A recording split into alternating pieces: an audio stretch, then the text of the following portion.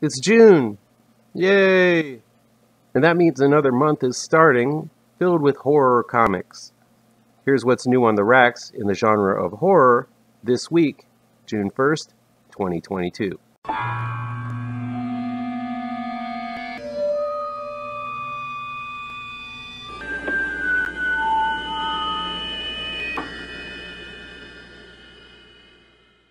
Welcome back to ML Miller Frights. I'm ML Miller. Before we begin, please do me a favor and punch that like button down below. Share this video with all of your social media addicted pals. Click subscribe to this channel and ring that bell for notifications. Let's check out This Week in Comic Book Horror, June 1st, 2022. Horror Comics number 10 is from Antarctic Press. The story is by Gianluca Piredda, with art by Luca Lamberti. So last week, issue number 14 of Horror Comics was supposed to have been released. So of course, one week later, issue number 10 comes out. Whatever issue is released and whatever order it is released in, I'm always down for horror anthologies. I'm hoping to pick up a trade of these books as the covers are nice and creepy. This one is about Dracula leaving Transylvania and retiring to the Old West. Sounds fun. Issue number 11 also seems to be scheduled to come out today as well, which contains part 2 of Dracula's Old West adventure. Loaded Bible, Blood of My Blood, number 4, is from Image Comics. The story is by Tim Seeley and Steve Orlando, with art by Giuseppe Cafaro. Dracula is battling everyone this month. In Loaded Bible, he takes on Jesus in a bloody and gruesome final battle creator Tim Seeley has teamed with Steve Orlando to bring back one of the ballsiest and most blasphemous comics ever. Vampirella and Dracula, Unholy, number 6, is from Dynamite Entertainment. The story is by Christopher Priest, with art by Donny Hadiwidjaja. Had, Hadiwidjaja. In this final issue, Vampirella and Dracula face off one last time, and the fate of her new husband hangs in the balance. And looky over there at that cover.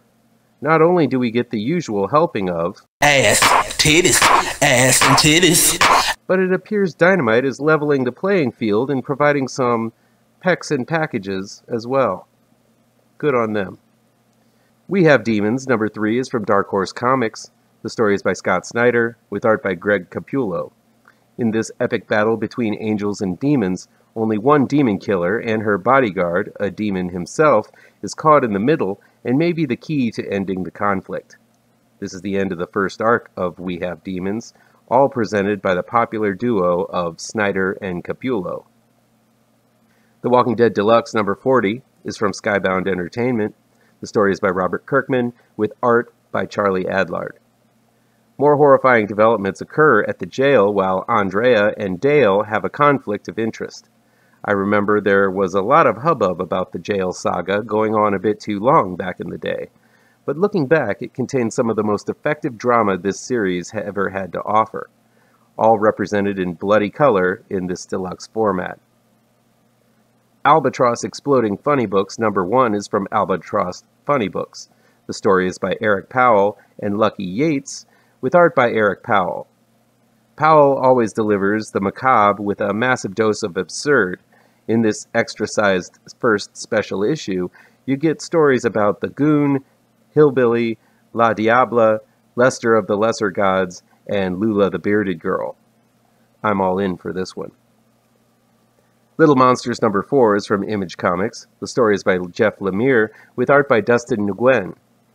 After finding a human girl, our vampire little rascals try to fight their urges to drain her dry and get her back to her family. But in doing so, these vampires stuck in children's bodies are alerted to where the humans have been hiding, and the urge for blood is growing within them. I'm really digging this beautifully drawn and wonderfully written series. Aliens number 12 is from Marvel Comics. The story is by Phillip Kennedy Johnson, with art by Salvador Larroca.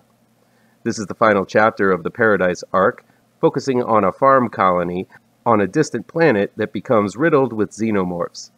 Phillip Kennedy Johnson and Salvador Larroca continue to deliver the big budget sci fi horror goods monthly. The Closet, number one, is from Image Comics. The story is by James Tynion IV, with art by Gavin Fullerton. A new horror series from James Tynion IV? Say no more. I'm in. Reminiscent of Cat's Eye, a family moves into a new home only to find the monster in their son's closet has followed them there. Can't wait to see what new terrors Tynion has in store for us. Ghost Rider number 3 is from Marvel Comics. The story is by Ben Percy, with art by Cory Smith. While Johnny Blaze continues to investigate his memory loss, the FBI and a monstrous trucker from hell do their damnedest to keep the rider off the road.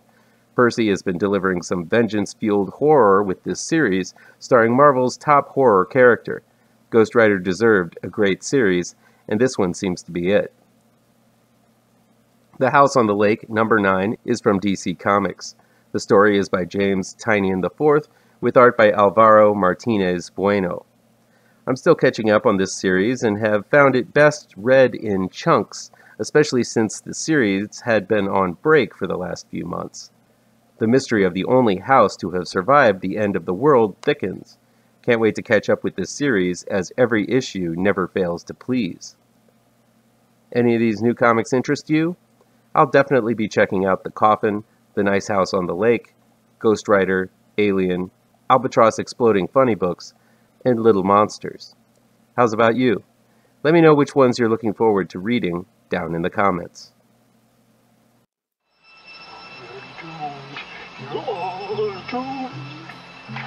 You're doomed to live the life you're meant to be. Stuck inside your reality. You're